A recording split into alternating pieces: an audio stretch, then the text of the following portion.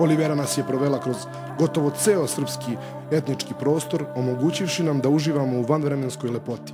Zabeleženim trenucima sreće, spokoja i dobrote koje se ocrtavaju na licu svake devojke i mladića oslikanih na platnu. Potpuno je očekujuće i opravdano to što je na većini slika prikazana narodna nošnja centralne Srbije, to jest šumadijska nošnja, koja je ono pravo na što pomislimo kada kažemo srpska nošnja. Jer i kako pesma kaže, jele, kanterije i opanci, po tome se znaju srbijanci. I zaista je tako. Kada tome dodamo šajkaču i brič pantalone muškarcu, a devojci prepoznatljivu tkanu, kariranu ili prugastu suknju, dobit ćemo osnovni odevni obrazac srpske nošnje. Međutim, Lola ide i korak dalje. Verovatno samim upuštanjem u ovu tematiku shvata šta se sve krije iza tog naizgled oskudnog motiva koji je dominantan na njenim slikama. Time nam otkriva i lepotu nošnje Užičkog kraja, Bosilegradskog krajišta Mačve, Pčinje, Bosanske krajine, Kosovskog pomoravlja, Negotina. Uz to nas vodi kroz svakodnevni život naših predaka, prikazujući nam trenutke ašikovanja, deo svadbenog rituala, obavljanje svakodnevnih poslova poput pranja veša, na slici trimame platno bele, kroz sliku familija, podsjeća nas na značaj porodice kao osnovnog stuba društva. Otkriva nam niz detalja poput toga da je žena na slici Srbadija, zapravo mlada nevesta, u prvim godinama braka i da se još nije ostvarila ulozi majke.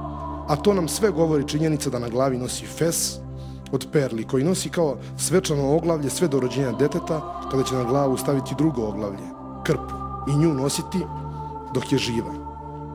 Otkriva nam i da je žena sa slike livadica jako vešta u ručnom radu.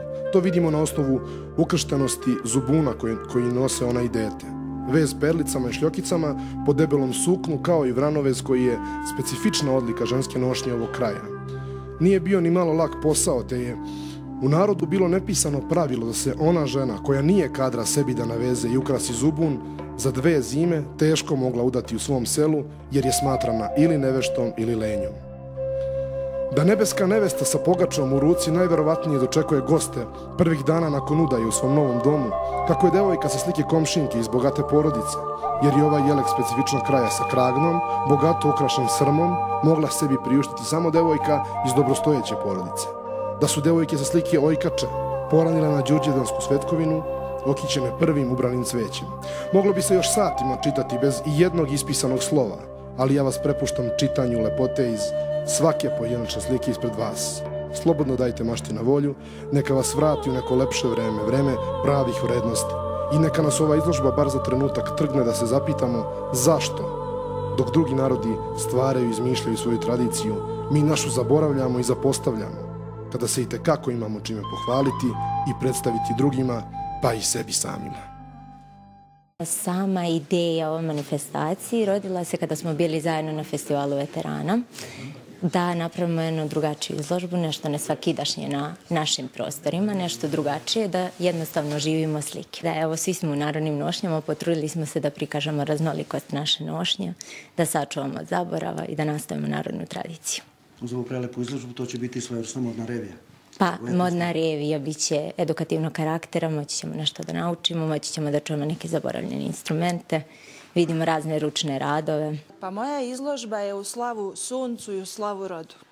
Znači, ideja je da se lepota srpskog čoveka, njegove duše, njegove iskonske dobre prirode pokaže celom svetu.